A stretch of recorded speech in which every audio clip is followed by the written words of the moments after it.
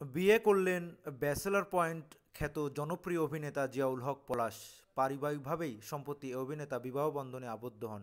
পলাশের স্ত্রীর নাম নাফিজা রুম্মান মেহনাজ। নর্থ সাউথ বিশ্ববিদ্যালয় থেকে ব্যবসায় প্রশাসন অনুষদের স্নাতকোত্তর সম্পন্ন করে একই বিশ্ববিদ্যালয়ে স্নাতকোত্তর করছেন তিনি।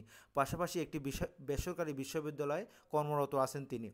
বিয়ের বিষয়টি জানিয়ে পলাশ গণমাধ্যমকে জানান, বাবা মায়ের পছন্দে প্রাধান্য দিয়েই করেছি। আলহামদুলিল্লাহ, দাম্পত্য জীবনে আমরা ভীষণ সুখে আছি। সবার কাছে দোয়া চাই জীবনের বাকিটা সময় যেন একই সাথে কাটাতে পারি। পলাশ আরও জানান, ঘরোয়া পরিবেশে তাদের বিয়ের আনুষ- আনুষ্ঠানিকতা সম্পন্ন হয়েছে। বিয়ের দুই পরিবারের সদস্য ছাড়া কেউই ছিল না। আগামী ফেব্রুয়ারিতে বড় পরিসরে বিবাহোত্তর অনুষ্ঠানের আয়োজনের পরিকল্পনা আছে তাদের।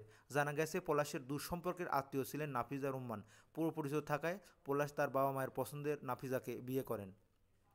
গত বছর নভেম্বরের দিকে পরিবারের কথায় নাফিজার সঙ্গে পরিচয় হয় পলাশের। তখন জানতে পারেন অভিনয়ে জনপ্রিয়তা পাওয়ার অনেক আগে থাকতেই নাফিজা তাকে পছন্দ করতেন। পরিবারের মাস তিনেকের পর পলাশ নাফিজার সক্ষতা বাড়তে থাকে। বেশ কিছুদিন আগে পরিবারের সম্মতিতে নাফিজাকে বিয়ে করেন তিনি। অভিনয়, নির্মাণ সব কিছু ভীষণ ব্যস্ততা যাচ্ছে পলাশের।